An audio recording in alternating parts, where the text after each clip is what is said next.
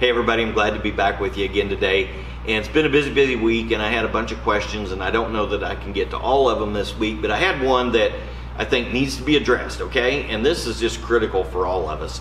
Um, one of them was, how the heck do I repair my credit? All right, so we're gonna assume that the credit had been damaged.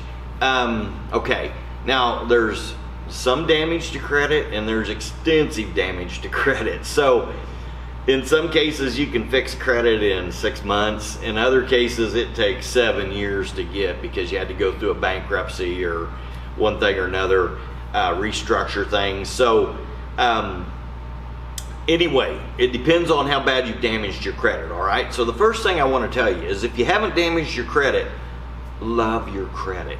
A credit rating is a valuable, valuable asset. I mean, it's very valuable, and you will see as life goes on. So, if you haven't damaged your credit, love your credit, nurture your credit, build your credit. Okay, now let's say for the guy that asked me the question, we know your credit's fine, but he asked me the question and it's a reasonable answer. So I'm going to assume, because he was a younger fellow, that it probably isn't damaged that bad, maybe some late pays, that type of thing, all right? So my first advice to him would be to get a credit report uh, and see what's on there, all right? So if there's back pays, maybe some utility bill that you forgot to pay or some type of collection, make contact with those people and get that taken care of. So even if you have to make payments or whatever the situation is, get those paid off, all right? Because your credit's not going to repair itself as long as you have collections and back pays on there that haven't been taken care of, all right? Okay, and then seriously, we get bombarded with every opportunity in the world to spend money. We all want, I mean, I'm I'm just as bad as anybody else. Don't do it, okay? Seriously, I tell myself, you can't spend the money if you can't afford it. So, you live within your means.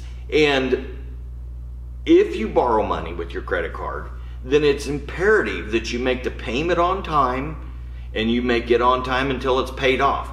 That's part of nurturing that credit report, all right? They love to see those payments made on time. They hate to see late pays, all right? So let's say that he had um, a collection on a utility bill and a couple late pays on his car.